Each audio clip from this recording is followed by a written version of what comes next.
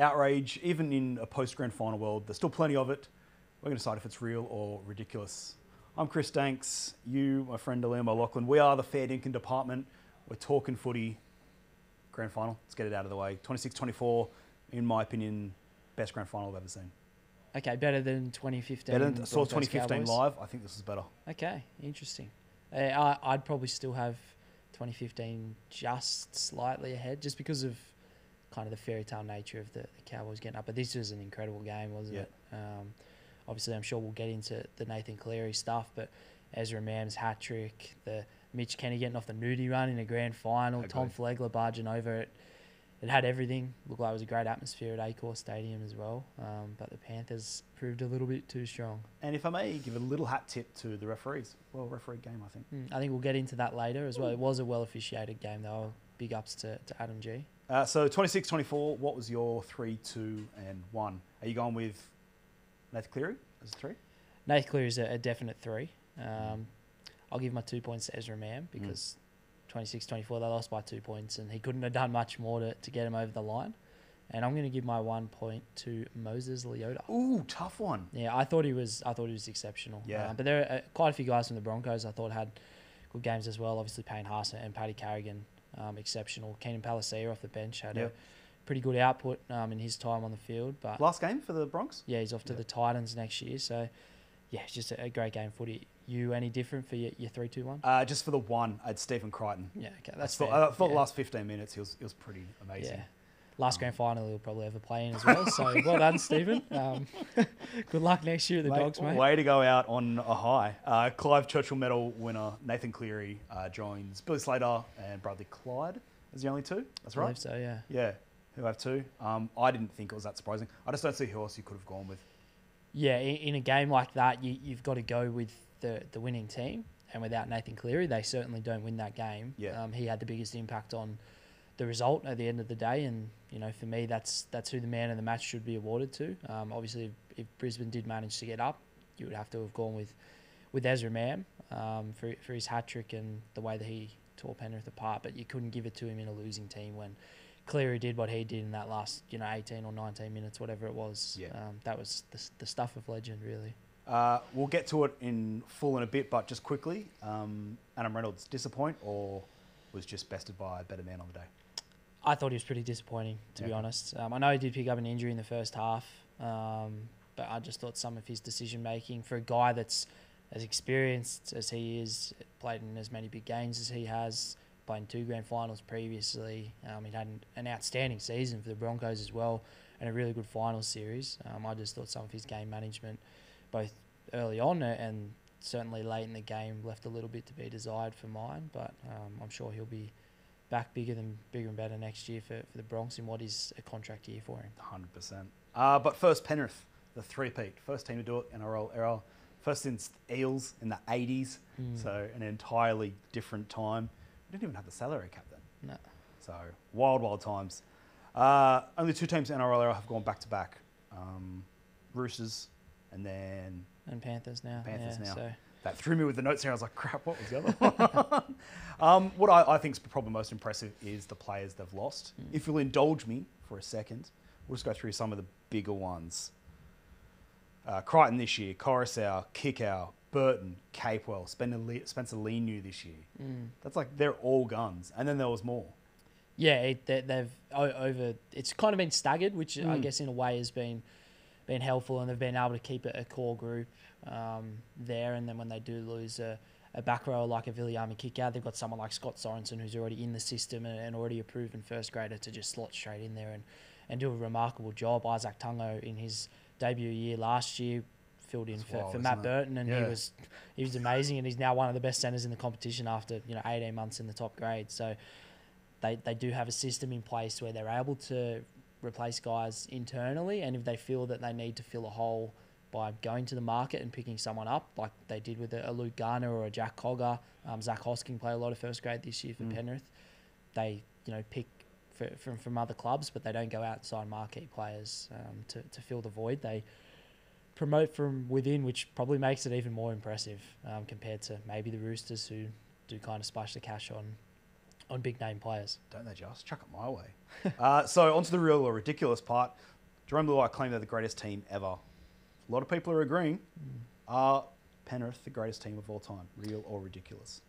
I'm going to divide it up into to two, I guess, separate ways to look at it. Are they? Is this team that won the premiership this year the greatest NRL team in a What if it was just are they the ever? greatest dynasty? Are they the greatest? But I, yeah, so I, I, I would say they're not this single team and not the greatest Yeah. team ever. But in terms of a, a stretch where they have been able to keep the majority of their squad together over a three to four year period, then it absolutely real. That they are the best team, certainly of the modern era, certainly of any team that I've seen. What they've been able to do under Ivan Cleary is, yeah, it's it's been incredible um, to, to watch unfold over the past, you know, four years and being in the weeds week to week, working and covering Penrith and, and what they've been able to do. Um, it, it's awesome to see for, for a club that, you know, for a while did struggle a little bit, and Yeah. they had a you know five year plan in place that probably turned into more of a ten year plan. That's been well documented, but um, you know the the the things that Phil Gould put in place 10, 12 years ago are now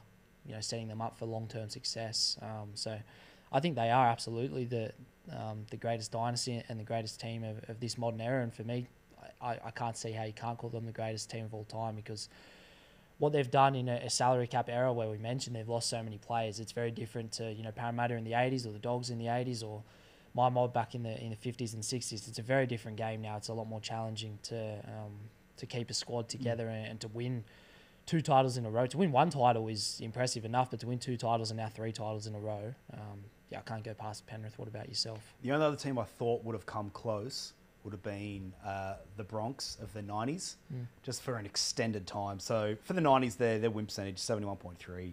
Panthers, way past that, Yeah. 83%. Yeah, That's why they get such a good run with all the refs. yeah, exactly. the dumbest statistic I've ever heard oh, in my awful, life. isn't it? Uh, so Brisbane won five premierships, every grand final they featured in. I think it was like 98, where they pretty much had the test side. Mm. The reason I would go with the Panthers, apart from the win percentage, is that they've kept replacing players, but also not everyone on their team is a test player. Like their tier two players are guns or Mm. still, but not everyone's in the Australia side, No. which we'll speak about. No, they've only got three players in the, the Australian squad, and you know you could probably argue they could have a couple more, but they've got obviously a lot of guys playing for Samoa and New Zealand as Mm. well. Um, you know, guys that are in the Origin scene that are opting to to play um, for Samoa, which is it's awesome to see. You look at Jerome Luai and Stephen Crichton and Brian To'o, what they've done for their country and, and rise the the status of Samoa in a in a test setting. Um, yeah, it's, it's it's great to see, um, but hopefully someone else can can lift the trophy next season because I think a lot of people are probably sick of seeing uh, Really? sick of seeing Penrith. Yeah, I, win five, win six. yeah, yeah. I don't know. It, it gets to a, a stage we haven't really had it in rugby league. It gets to that that New England Patriots Yeah. NFL kind of stage um, where you know everyone wants to see them lose and people will pay to see them lose and everyone else is chasing them, which makes for great theatre when someone eventually does. Um, and, and speaking of the Patriots, I think I Oh. said this to a few people. The only way that I could describe what Nathan Cleary did in that grand final was like watching Tom Brady in the 2017 Super Bowl, where they were down Falcons? 28 to 3 against uh, the Falcons and he surged them home. That's the only way that I could kind of compare what Nathan Cleary did. And, and speaking of Nathan Cleary, his second Clive Churchill medal, Yeah. steering them back from 16 points down. They were gone. Did you think they were dead and buried? Hundred percent. Yeah. Ezra Mam was was killing it. Uh, the Panthers looked tired as well. Mm. Um, Leota was off the field, and I think although the Panthers have you know a great bench, Mm. I think they really felt that. Yeah, they ju- they just looked tired. I thought Renault was just gonna ice the game, kick them to death. Mm. Um, I, yeah, I thought that was it.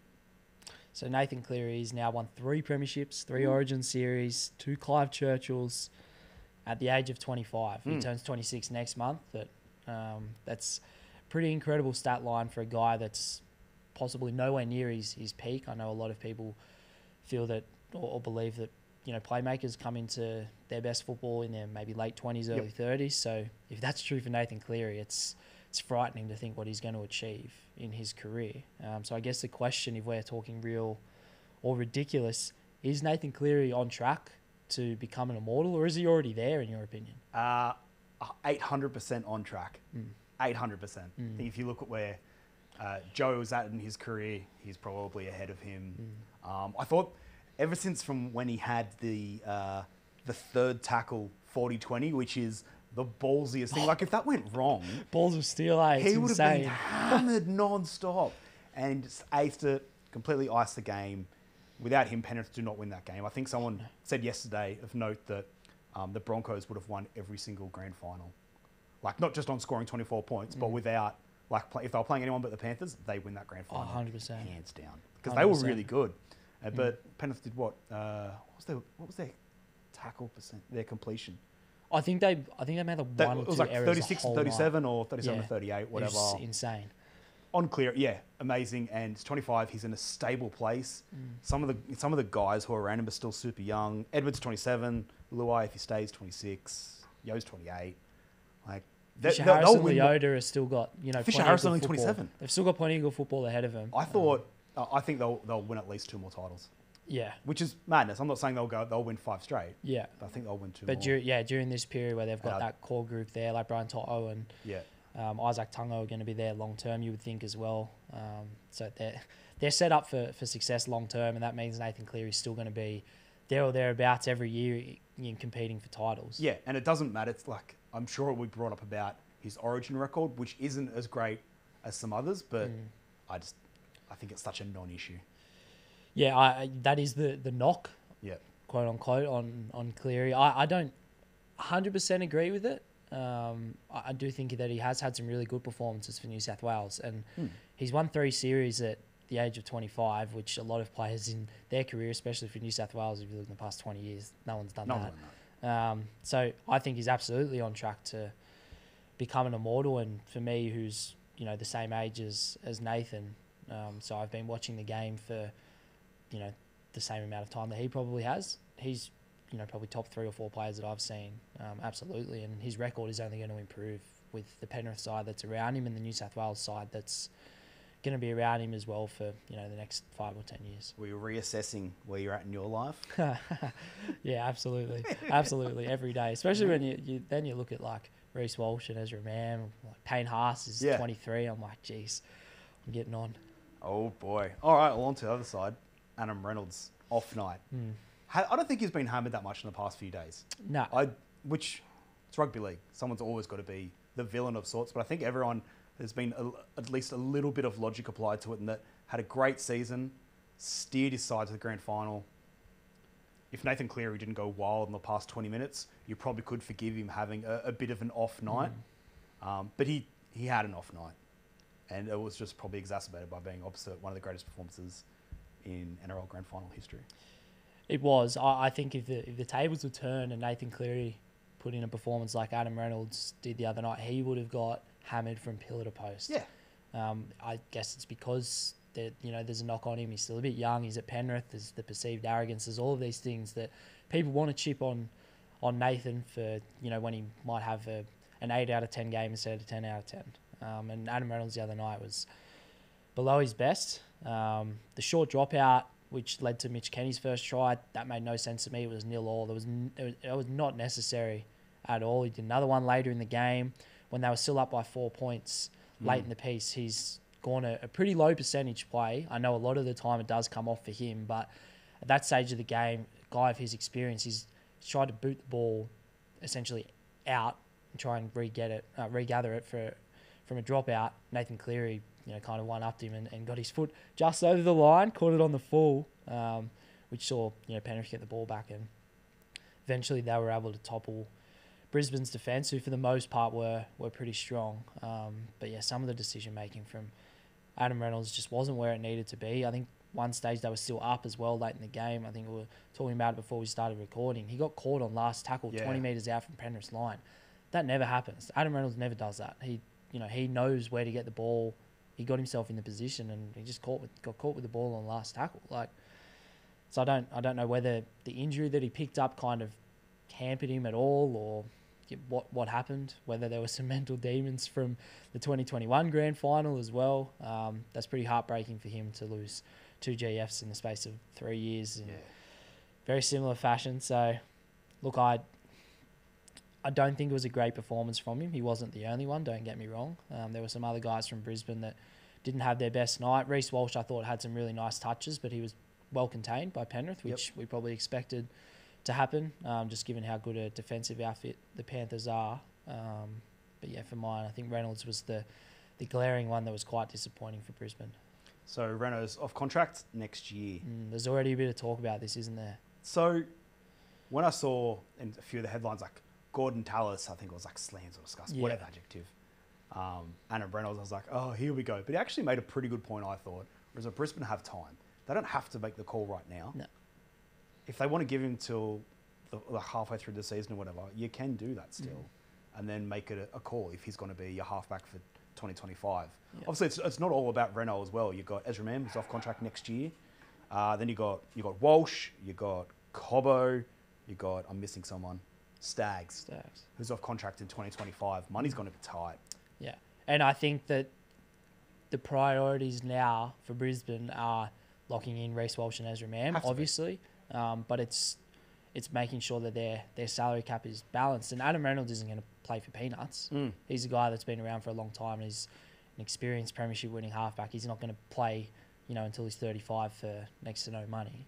Um, so how they're going to balance their salary cap will be very interesting. Obviously, they've just upgraded Payne Haas to a pretty sizable contract. They've lost Herbie Farnworth and Tom Flegler, but um, it'll be interesting to see how the Adam Reynolds situation plays out. I guess real or ridiculous as it stands right now after the 2023 season, how it unfolded and how the grand final unfolded. Do you think he deserves a contract extension now, or do you think Brisbane should be waiting a little bit? I think if they can wait, they should. Mm. But I still think Brisbane are like hard in their premiership window Yeah. right now. Yeah, Everyone's only going to get more expensive. They need him to steer them around. yeah, I, And also, he's not that he's not that old. Old man Rivers Reynolds. He's 33, same age as SJ. yeah. Cronk won three premierships Mm. after turning 33. Yeah, there is also the, I guess, the concern about his body. Yeah, if his he body has a few up. little niggles popping up here and there. Um, so which was, you know, maybe part of the reason why Mm. South opted not to retain him on a long term deal. But I suppose making a grand final is better than missing the finals. So I'm told. What about Um, I'm going to say, uh, in terms of getting a contract right now. Yeah. I think ridiculous. Um, he was brought there to win him a premiership, and you know he he, he did fall short in a big game. Um, so I would probably wait and see how things go, but I would be pushing him down the priority list a little bit for now. Off the top of your head, who would they even replace him with? Who's I know they've the got Jock? Madden there waiting in the wings, who's played He's off contract in 24. Yeah, but he's played some good footy when he's come in. He's a guy that you know they're hoping might be a long term Yeah. you know, seven to take over from Adam Reynolds. You know, you could move Ezra Mam to seven. I don't think he's probably a natural seven, but um, he could potentially move there and they could look for a six. Um, Brisbane have, have got a pretty large catchment area, and, you know, it wouldn't surprise me if they did have, you know, an 18, 19 year old coming through that we perhaps don't know about. Um, I know they do have a really talented young guy at nine in Blake Mozer that Yep. got his debut in the last round against Melbourne, um, and he's probably going to be their long-term guy at dummy half. But as for their seven, I'm not entirely sure. Um, which, but I, I would still be waiting um, and just seeing how things play out first half of next year with Adam Reynolds. If they're still in a really good position and his body's holding up, they're in the top four. They look like they're in contention for another premiership. They've they've locked away Reece Walsh and Ezra Mam. Then yeah, I I would probably consider it. But um, there's a lot of factors that have, have got to play out first before I'm re-signing Adam Reynolds. Yep, that's fair. Referees. Referees, we love referees. It took us till the fourth topic. Let's hammer him. Or let's not. Let's not. Adam G. He was good. He was damn good. He was good, and you know, you know when a referee's had a good performance, Don't even talk about it. you don't notice them. Um, and the only reason that people are talking about him now is because there was only one ruck infringement the entire night. There were five penalties. Um, it was a very fast, free-flowing game. wasn't a lot of stoppages. The whistle was kept in the pocket. Yeah. There were a few melees that he handled really well. I thought, um, while speaking to either the, the individual players or the captains, um, but I felt like maybe it was officiated different to 27 rounds and three weeks of finals. Yeah, it was an origin Hmm. performance, um, as Gus would call it. Yeah, it was. It was, it was. It was. It was definitely officiated differently. I think the only missed one, which typically you'd think would be called up, was probably the Liam Martin high shot, Yeah. and that's nitpicking. And I had to go back and look for it. Mm. I didn't at the time. I didn't think, oh, that's a howler. Yeah, but there's there's been players that have been suspended for that this year. Yeah, definitely. And So- I thought personally the way that it's been adjudicated this year, I thought the the tackle on Adam Reynolds that led to him getting injured. I thought that was the way that it's been The called. drop, I thought it was a hip drop. I think it was Scott Sorensen. He left his feet. He kind of swung his body weight around. If Adam Reynolds goes off and you know Scott Sorensen goes unpunished, and then you look throughout the season, the example that pops into my head is Jack de Belin was Yep. penalised a couple of times for pretty similar tackles and copped a four week suspension and a sin bin. Like, I know it's a grand final and we don't want to sin bin blokes if we don't have to, and we don't want to penalise blokes if we don't have to, but you you talk about player safety. Player safety doesn't go away for 80 minutes when it's the first Sunday of October. It's still there. Adam Reynolds could have suffered a, a serious injury.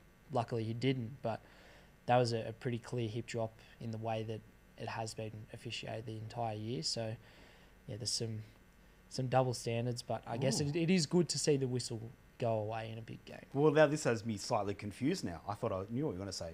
Real or ridiculous, the NRL should allow refs to change things for grand finals slash origin. Well, no, ridiculous. Of course, it's ridiculous. It's going to happen. It's always going to happen, but it's ridiculous. Because what if you, in week one of the finals, get knocked out from a decision that's referee completely different three weeks later in a grand final? Yeah. You miss out on a spot in the top eight because a referee called a hip drop and then doesn't call it in a grand final. I know we're never going to get complete consistency, but that's what the bunker is also there for. I thought that was a reportable offence, the, the Scott Sorensen tackle. So, no, I think it's ridiculous, but it's rugby league. It's always going to happen for origins and, and grand finals, and we just got to live with it, but doesn't mean you have to like it. I like it. I like it a lot. Okay. real, real. I get it. I get it doesn't make any sense, but it's it's the the pinnacle, and I think it should be given a little bit more leeway. Yeah, but I mean, big ups to, to Adam G. Um, he let the game be the story of the night, um, and that's what everyone's been talking about. And the only reason that it hasn't is because there were a lot of things, or not a lot, but a few things let go, and I guess the the ruck was a lot, a lot faster and uh, a lot less, you know, six agains and Yeah. that annoying bell going off as per usual. But um, yeah, look, it, it was the, the football that was the main story on, on Sunday night, and I guess that's all you can ask for. He says through gritted teeth. Finally, we're on the home stretch. Uh, the Australia squad. So Mal Meninga's unveiled his 21, 21 man squad for the Pacific Championships. Are you excited for the Pacific Championships? Uh, yeah, I am. I, I don't mind some international football. I know the Cricket World Cup's starting, but I don't have a hell of a lot of excitement for that. Yeah. Um, I'm not a supercars guy, so Bathurst 1000 doesn't excite me. Horse racing's always good at this time of year, but rugby league is, is where my heart is, so I'm looking forward to it. Yourself? Massively. Mm. I love watching the Island Nations it. I think it's fantastic. Um, which also, when we had Koroisau on Ebbs and Flows like two weeks ago, three weeks Yeah. ago, when he was talking about Fiji doing the hymns, Mm. mad. Yeah, I love it. And it's It's just something like makes you want to run through walls. That's how he gets all the guys to buy in. It's like, hell yeah. Mm. Um, so yeah, 21 man squad, four debutants, Flegler, Stags, Hammer, Cobbo. Surprised by any of them? Uh, Stags, I was a little bit surprised, but when you think about the centres that are either playing for other countries or they're out injured or taking themselves out of contention for, for whatever reason, I guess he was maybe the, not the last man standing, but Yeah. he was probably the, the logical option. He's played Origin, he just played in the grand final, so he's fresh. But other than that, no major surprises um, out of the debutants. There were some other ones which left me scratching my head though. Just one regular edge forward, Mm. Liam Martin. So yeah, Liam Martin was obviously a walk-up start. He was Yeah. pretty good in the World Cup last year. He played all three games for Origin. Was probably one of New South Wales' better players. Just won his third straight grand final. Um, he was a pretty logical choice, but I thought a logical choice would be David Fifita. Mm. Um, I know he played for Tonga last year, but he's previously captained, I believe, the junior Kangaroos. He's played for Australia in the Nines World Cup when they had that one-off tournament.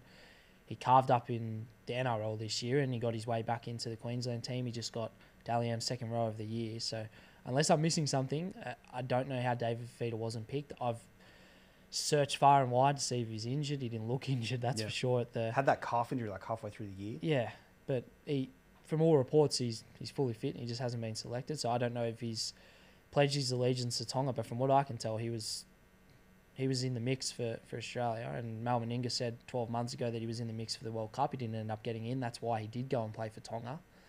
Um, but I don't. I just don't understand how he has possibly missed out. Now there's no other edge forwards. I know Cam Murray plays there um, quite a bit for New South Wales, but other than that, yeah, I don't know who they're going to be playing on the edge with Liam Martin for um, the the couple of games or the the finals if they they get through. But that's one that certainly left me scratching my head.